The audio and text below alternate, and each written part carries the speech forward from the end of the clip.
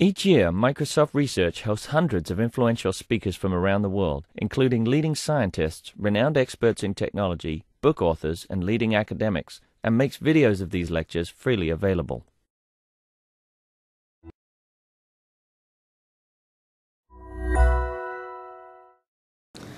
It is my pleasure to introduce Pieter Abbeel. Pieter is an associate professor at the Electrical Engineering and Computer Science Department at UC Berkeley.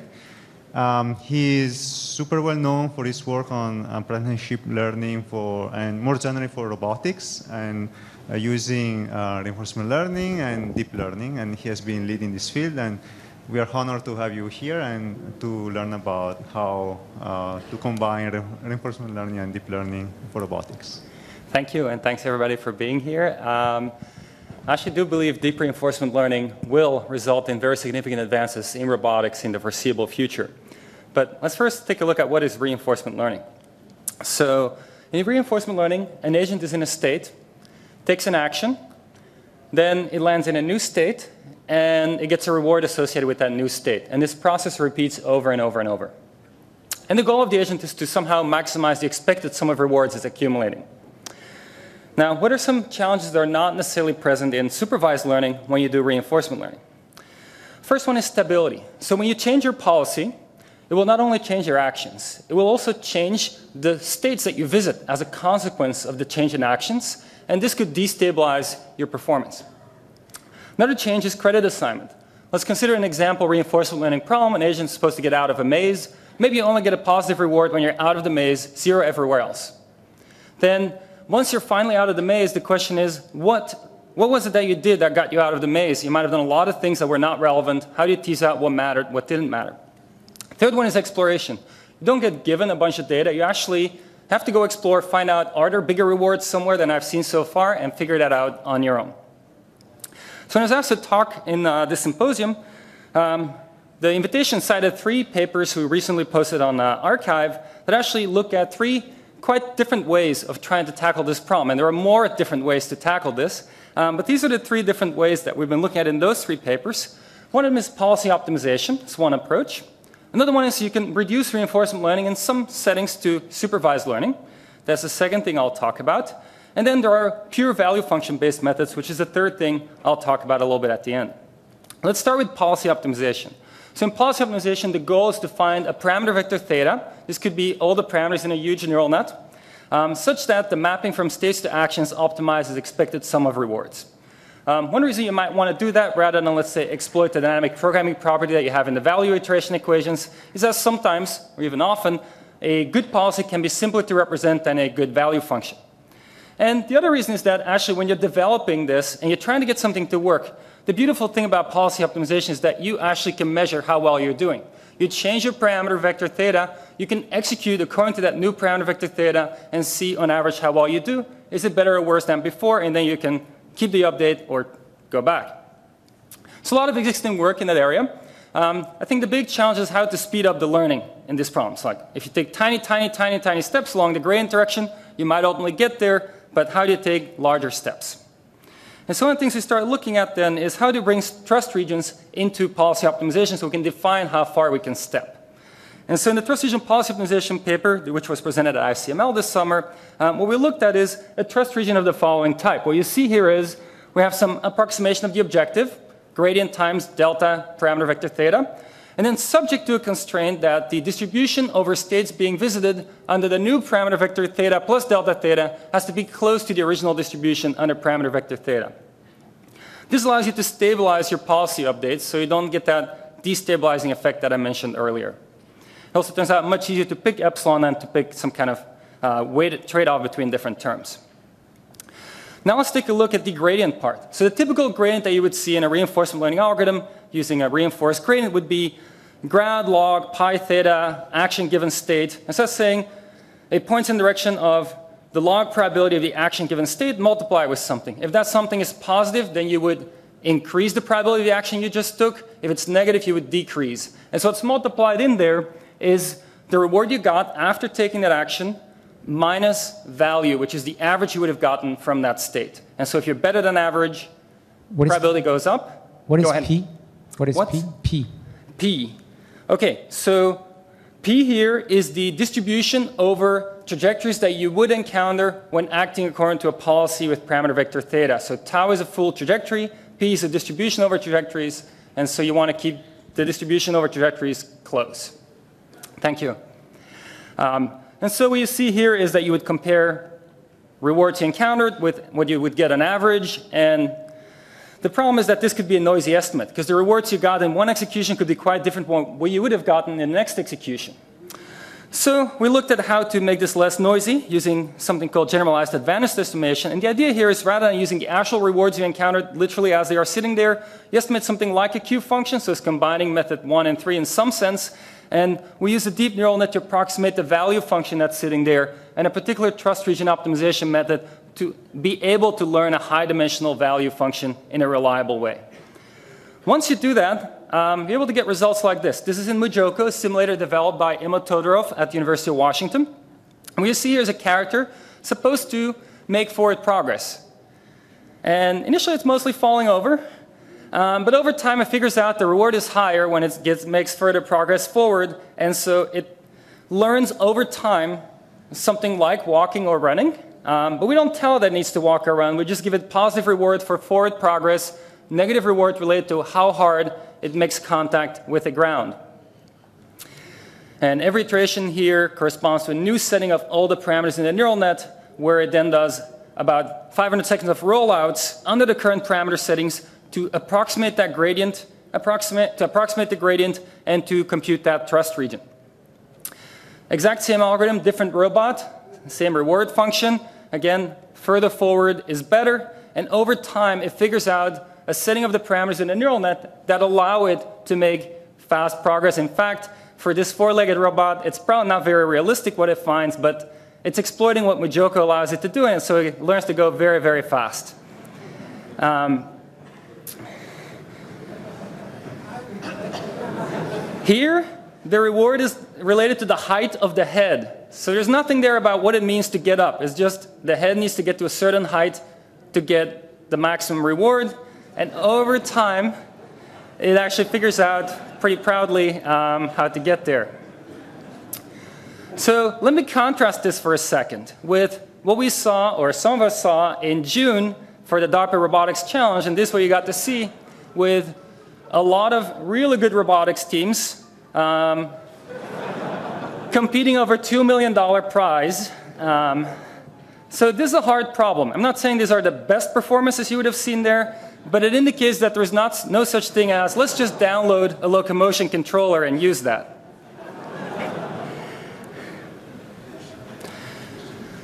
Another thing we tried then is to apply this to the Atari games environment. Um, we were definitely not the first to test things there, but I think what's intriguing is that the approach we developed with locomotion in mind did also perform well, not as well as the other two approaches listed, but pretty well on learning to play Atari games, which is a very different kind of setting where you take pixels as inputs rather than joint angles and joint velocities.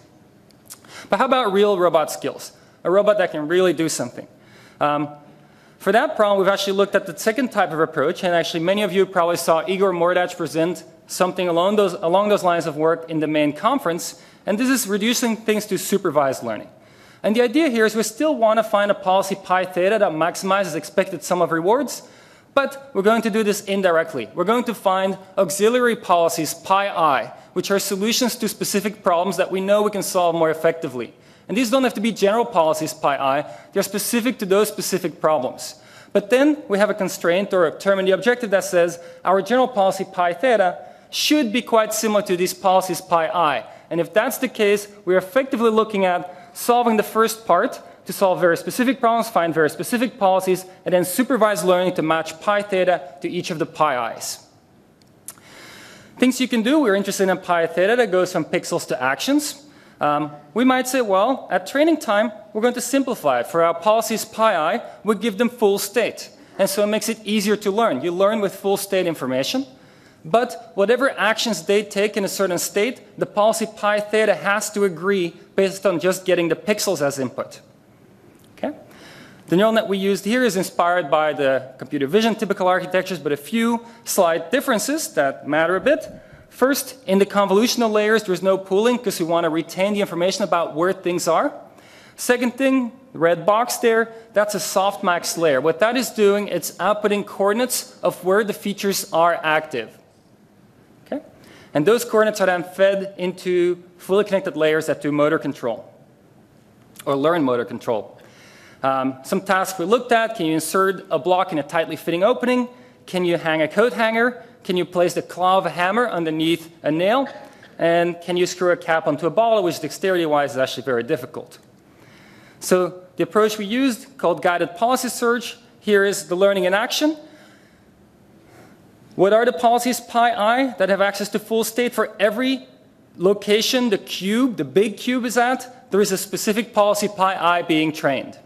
In parallel, there's a policy pi theta being trained that needs to agree with those that just uses pixels as inputs. And you see that over time, um, it's able to learn to insert the block in the matching opening.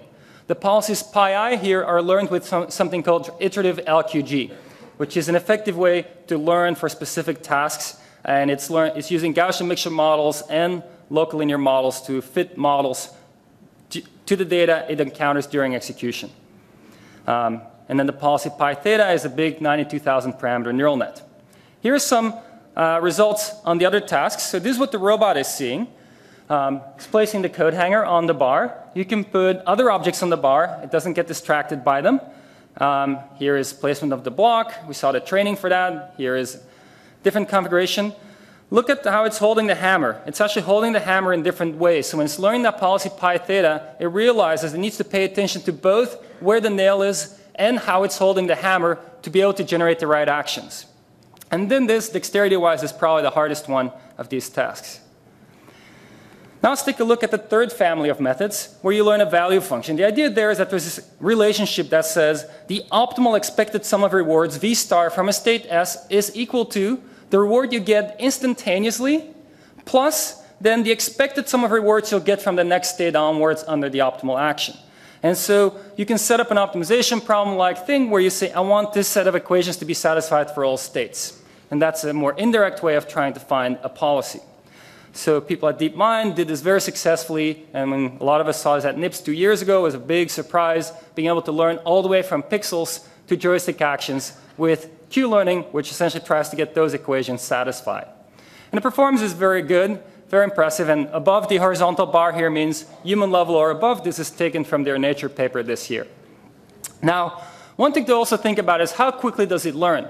It's one thing to look at final performance. Another thing, how quickly do you get to that performance? That's the exploration problem. Can you explore the world quickly to learn quickly? And so one idea we started looking at um, is to bring some of the older reinforcement learning ideas about exploration bonuses into making them applicable in these high dimensional spaces where you learn something high dimensional, like maybe a 100,000 or more than that parameter neural net. So we looked at exploration bonuses, and the way we set this up was we said, um, We'll learn first an autoencoder for the images we see in Atari. Then we'll use one of the inner encoding layers as our pseudo state, so to say, and we'll, from experience, learn to predict what the next state is going to be.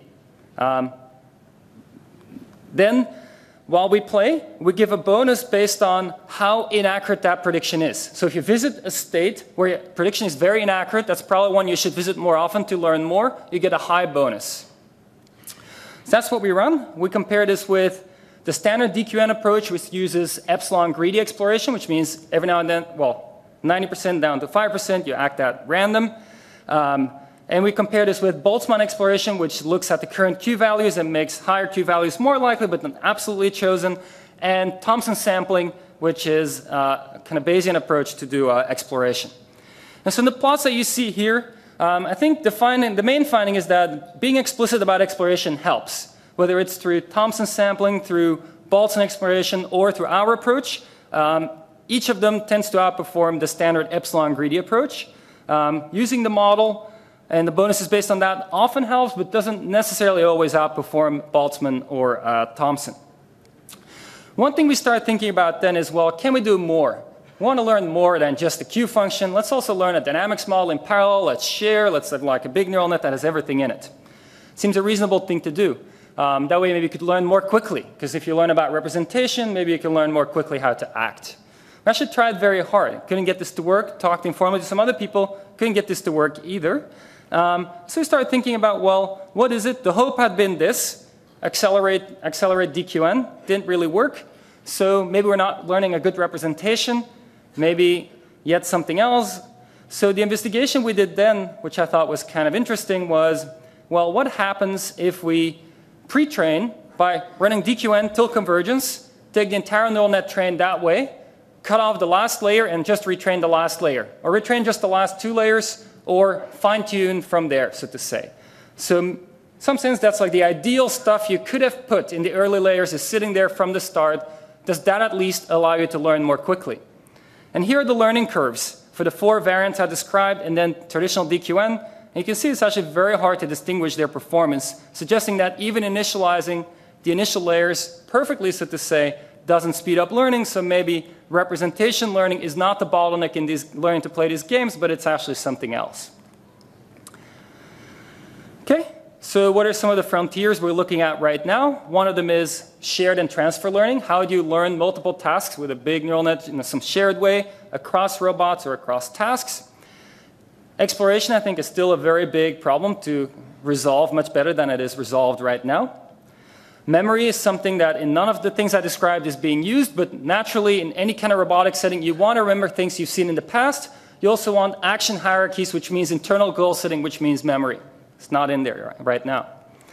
And then we've been looking at a lot of tools for experimentation, such as the stochastic computation graphs that John Schulman presented here, and the computation graph toolkit, which is a automatic differentiation library inspired by Theano, but different in a few ways. Um, all right, just want to thank my collaborators. That's it. Thank you.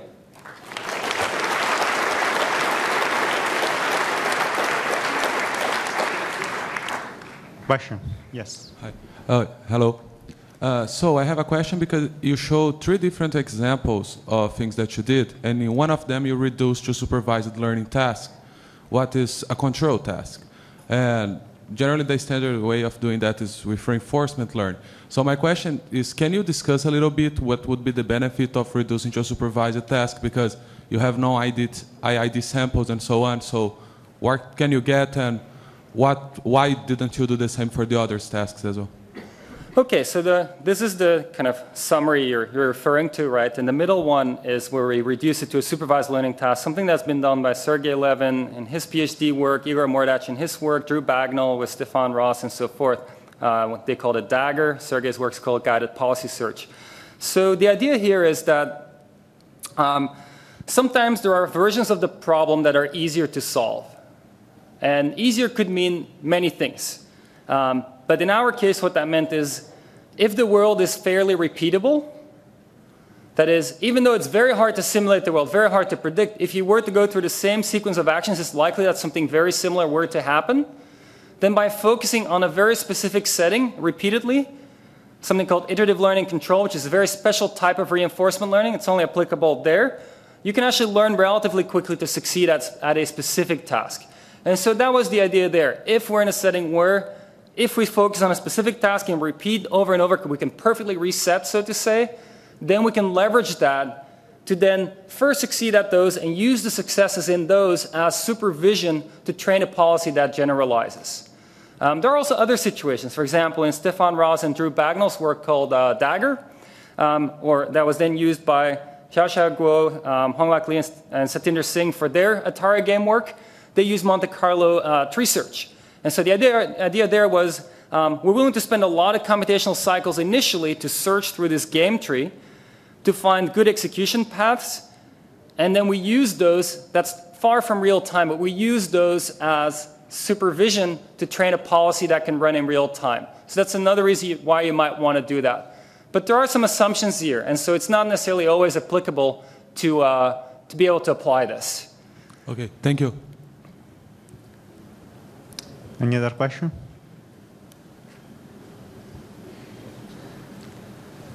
So I have a question. So in practice, how far in the future, uh, how much can you delay the reward, and, and when do things break, and how do you, yeah. Um.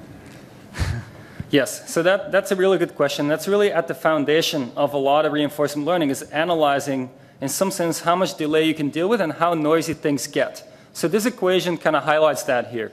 So you look at a standard policy gradient calculation. It's a sum of rewards and minus the average that you would get. And essentially, a lot of the tricks played relate, relate to how do you deal with that if the reward is very far delayed. If it's extremely far delayed, probably it'll be a very hard reinforcement learning problem. You might not learn for a very long time.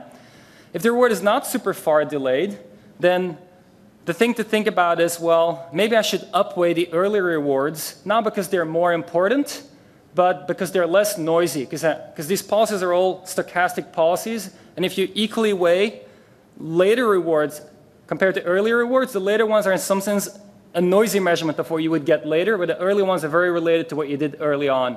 And so that's one of the things that this particular paper actually looks at in a lot of detail is how, how to deal with that noise effect that you get there. Thank you. All right, let's thank Pieter again.